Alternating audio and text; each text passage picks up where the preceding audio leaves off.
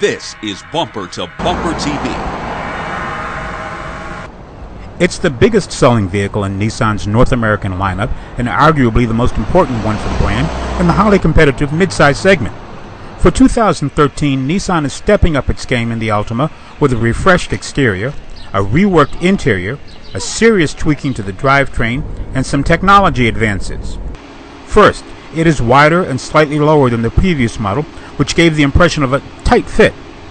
The back end has been updated, including a taillight assembly, which includes wraparound backup lights.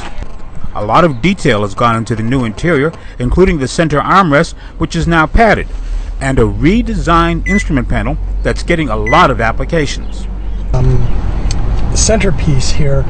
Um, it's much more legible than some of the older ones with the black and with the orange lettering. Is this again something that we may see on other other uh, Nissan products? You, will- you will absolutely see this on other products. In fact, uh, the, the new Pathfinder uh, that'll be launched very soon, uh, it has a, a similar version of the same display. Uh, of course, the vehicle that you see there uh, uh, is the Altima that will be changed to, to the Pathfinder, and there's some other function differences. But yes, we will we will be uh, spreading this technology through our lineup. There are no more manuals in the Altima. A near seamless CVT gearbox is standard. Bluetooth connections for phones and streaming audio are also standard. Under the hood, there are two engine choices the reliable 3.5 liter V6 rated at 270 horsepower and 251 foot pounds of torque, and a reworked 2.5 liter inline four cylinder motor. It's rated at 182 horsepower and 180 foot pounds of torque. This motor is set up to get 38 miles to the gallon on the open road without special tires or stripping features away from the Altima. Of course, reaching optimum fuel economy means having properly inflated tires, and a standard alert system makes it so easy that even a journalist can understand. So you'll see the flashers uh, flashing. That indicates that the tire pressure is changing.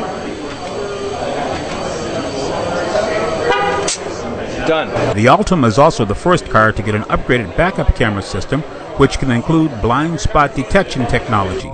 The handling has been upgraded for the 2013 model, including an electrically assisted power steering system that does not draw energy from the engine.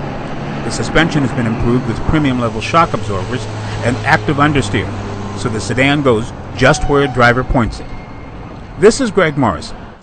We want to know what you think, so email us. The address is bumper to bumper TV at cs.com.